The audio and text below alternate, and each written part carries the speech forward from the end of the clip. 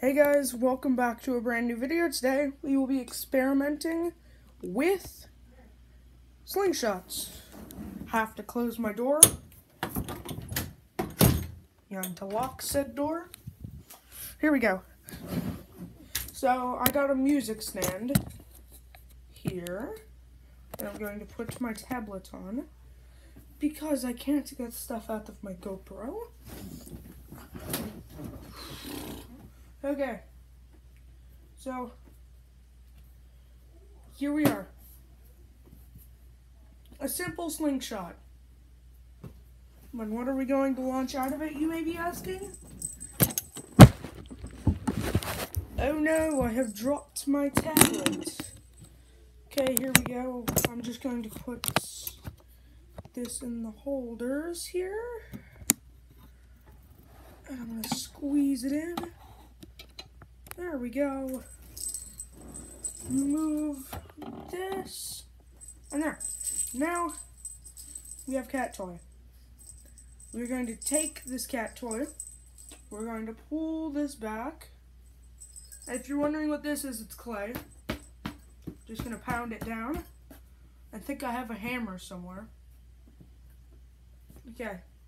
And we will be putting cat toy right there. And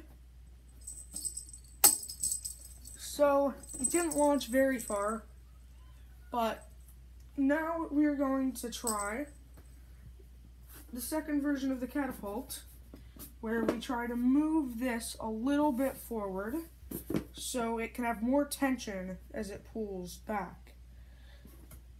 The more tension, the further it launches, is what I've heard. So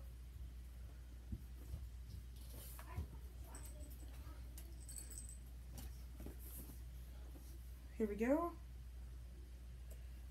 Nice and bendy. Can feel there's more tension. Yeah, that launched a lot further. That launched, I'd say two and a half feet.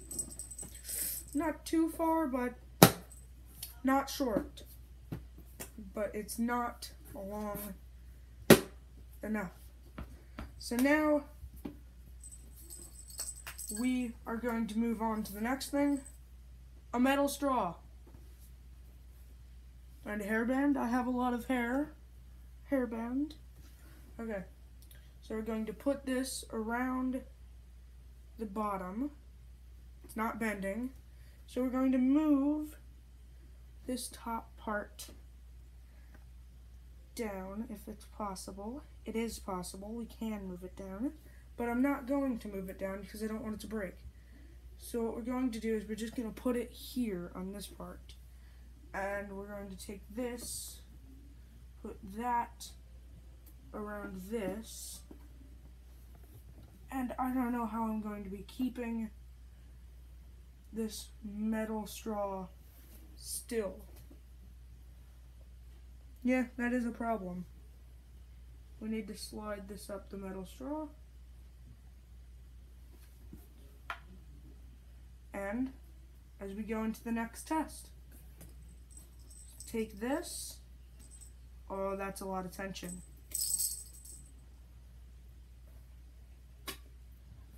I believe there's a way that I can keep this up. I'm going to go grab that.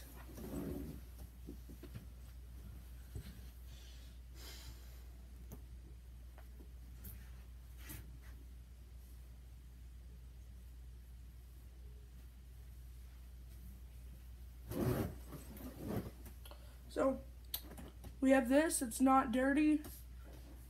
And we are going to open our project box. There's nothing inside besides markers. So nothing cool inside. But just gonna keep that here in a closed project box. One side can't close, which is good. And we're going to put move this closer to this, and I'm going to grab a clip.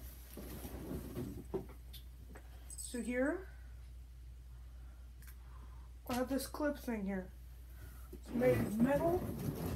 This thingy bobber, bobber, or whatever. Here, it's a clip.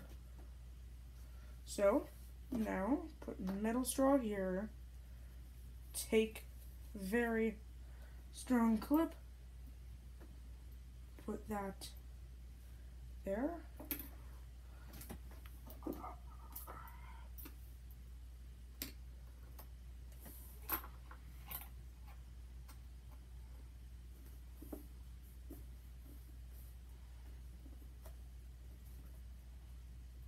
So, I think this is as powerful as we can make it with simple items. Last time I tried to tried to use this Wilson's air pump to try to hold up the metal straw. So here we are.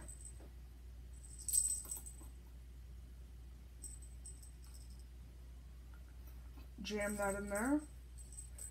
We have so much momentum, it is breaking the straw. I mean, it's actually breaking spoon. Why do I keep dropping it? Three, two, one. Yes! That launched at least seven feet. So, I'd call that for I'd call that a success for part one. If you want to see a part two, leave a like. And maybe I'll do a part two. Let's set a goal. Three, set five likes. I have around 20 subscribers. Five likes should be easy. If you can leave five likes, we'll make an insanely powerful thing that is six feet tall and launches cannonballs. So, see you in the next video, guys. Peace out, dudes.